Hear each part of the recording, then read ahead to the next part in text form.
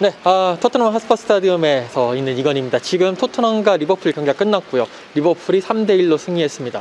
오늘 경기 토트넘의 패인이 무엇인지 한번 분석해 보도록 하겠는데요. 일단 세 가지로 할 수 있는데 손흥민 선수의 골 취소 그리고 정신줄 놓은 토트넘의 수비진 여기에 해리 케인의 부상으로 볼 수가 있겠습니다. 하나하나 하나씩 살펴보도록 하겠습니다. 전반 2분 경이었습니다. 손흥민 선수가 케인 선수의 패스를 받아서 정말 깔끔한 슈팅으로 골을 먼저 뽑아냈습니다. 아, 손흥민 선수 그 특유의 아, 카메라 세레모니까지 하면서 아, 골을 만끽을 했는데요.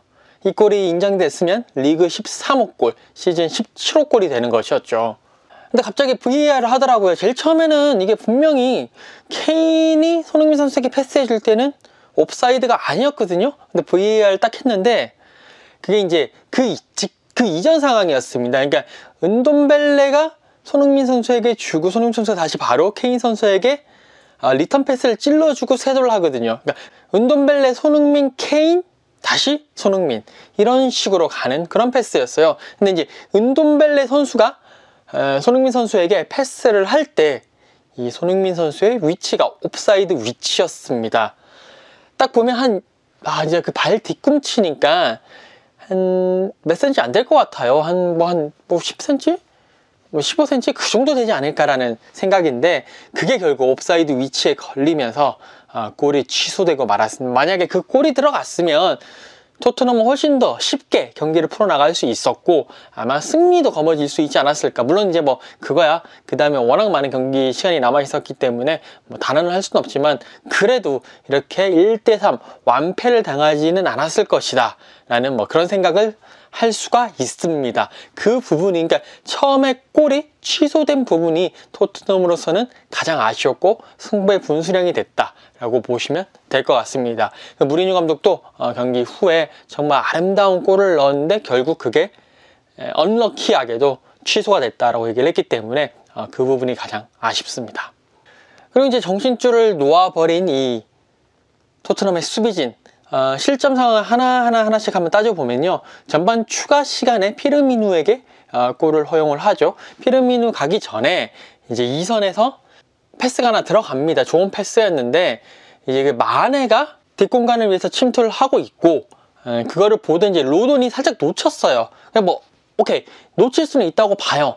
이렇게 보다가 이렇게 들어갈 때 반응 속도가 느리니까 그런데 이제 그때 마네가 들어갈 때는 그 완벽한 온사이드 상황이었고요. 마네가 들어가서 이 피르미누에게 패스를 찔러주죠. 이 피르미누가 패스를 찔러주는 그 크로스가 그냥 평범했어요. 평범한 패스였는데 이거를 커버 들어오던 다이어 그리고 문전 앞에 있던 요리스가 둘 다 그냥 서로 미루고 만 거예요.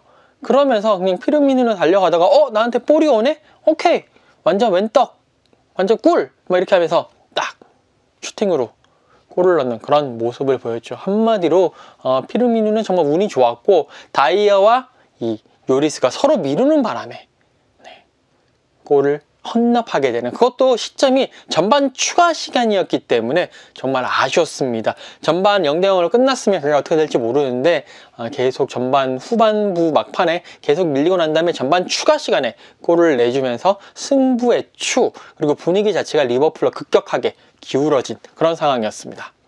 후반 2분에 이제 또 리버풀이 추가골을 넣었는데요.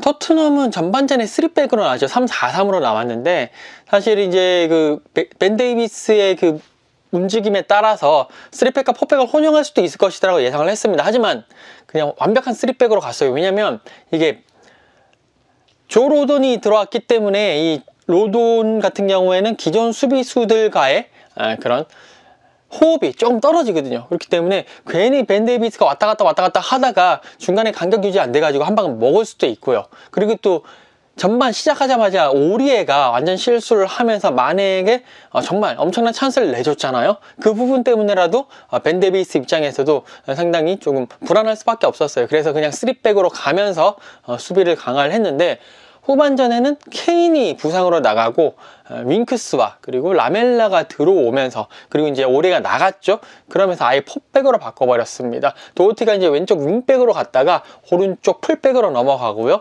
그다음에 이제 벤 데이비스가 왼쪽 풀백으로 가면서 4-2-3-1 전형으로 바꿨는데 어, 갑자기 3백에서 포백으로 바꾸고 나니까 어, 선수들 어, 그런 버퍼링이라고 해야 될까요? 약간 초반에 조금 손발이 안 맞는 부분이 있었어요. 이때를 놓치지 않고 리버풀이 골을 집어 넣었습니다. 특히 리버풀의 전방 압박이 상당히 좋았고요. 아, 도어티가 처음에 그 마네의 그 슈팅을 허용하기 전에 마네가 등을 지고 있었을 때 괜히 덤볐어요. 덤비니까 마네가 도어티를 딱 완전 벗겨내고 슈팅을 때렸고요.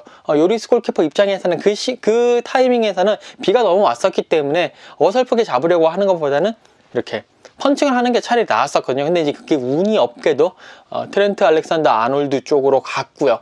어, 그 나머지 도어티가 벗겨지니까 나머지 세 명의 수비수들이 그런 간격 유지가 어쩌, 어떻게 보면 밸런스가 무너질 수밖에 없었죠. 그러면서 결국 알렉산더 아놀드가 마무리. 그래서 두 번째 골이 나왔습니다. 그리고 이제 토트넘 수비에 아, 정신줄이 완전히 났다라는 게 네, 후반 20분 만의 쐐기골 상황입니다. 이때 정말 조금 아쉬웠는데요.